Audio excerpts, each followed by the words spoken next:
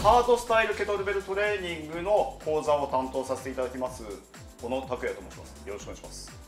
まずケトルベルっていうもの形見たことある方結構多いと思います。このように丸い形ここに持ち手こういうものがある。こういうものをケトルベルっていうんですね。今回の講座の最大の目的これは正しく使う。正しく使うっていうのは何かというとやはりこういうケトルベルを使って怪我をしない。人間というのは怪我をするっていうのは非常にマイナスなことなんですね。人生の中で一番大きいマイナス面病気であったり怪我をする。それがせっかく自分に対していいことをやるっていう正しいトレーニングとしてやろうと皆さん思ってるにもかかわらず怪我をするっていうのはやはり不本意だと思います。